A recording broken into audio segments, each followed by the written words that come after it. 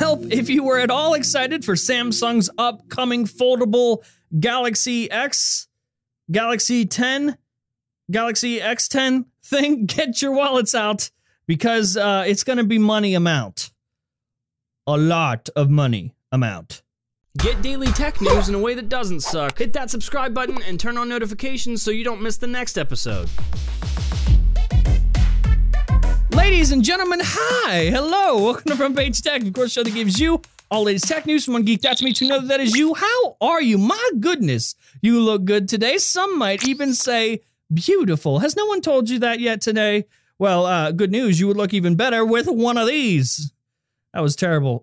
this is the last day to get your limited run Fupata shirt. After today, these are totally gone. We don't ship them again. And good news, if you did order one and you haven't received it yet, they're back in stock. We will ship them out very, very soon. You will have them on your body and on your nipples very, very soon. If you haven't gotten yours though, make sure you do. We're not we're not printing them again. Once they're gone, they're gone.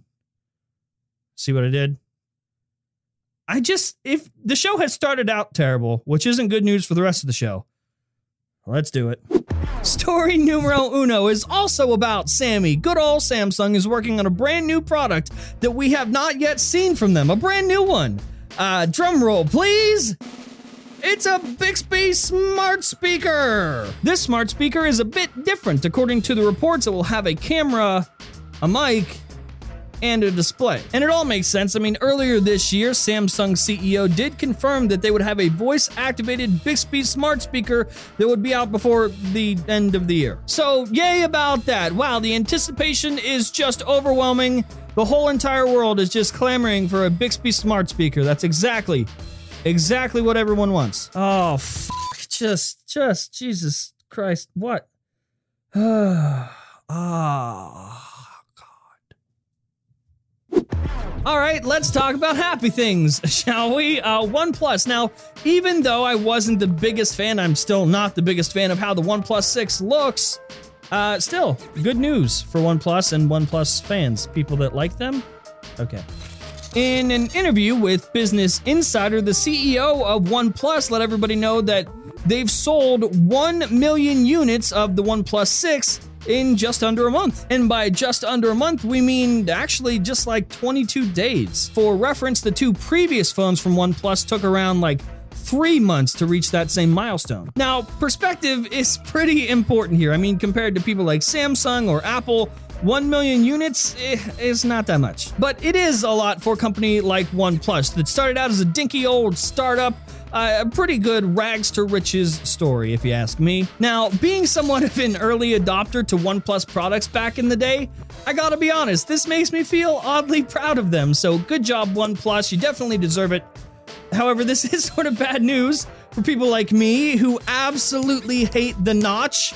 No, none of these companies are suffering for implementing the notch. Obviously, they put a notch in the phone.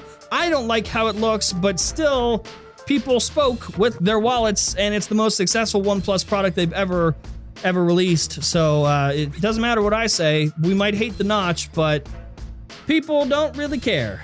It turns out.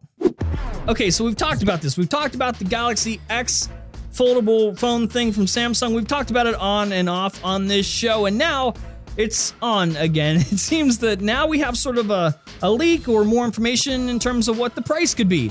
And uh, whew, it's uh it's up there. It's it's like a lot a lot of money. Okay, so obviously if you've been paying attention, you've been looking forward to the Galaxy X, you know what this is all about. It's a phone that Samsung is working on that is literally foldable. Now, supposedly Samsung already showed off the Galaxy X during a private event, so only to a few people uh, at CES this year. But according to reports, the rest of us will see it towards like the very end of 2018 or most likely 2019. And when it does release, according to reports, the phone will cost as much as 2 million won, which for us here in the US converts to about, wait for it, $1,800. That's $1,850 to be exact. Now, listen, nobody should be surprised. Nobody should be shocked here that when this phone comes out, it's going to cost the same amount as my unborn child.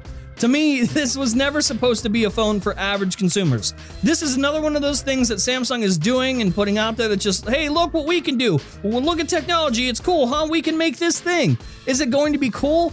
Yes, but I have questions on how practical this phone is going to be. I've said that since day one, since we've heard these rumors.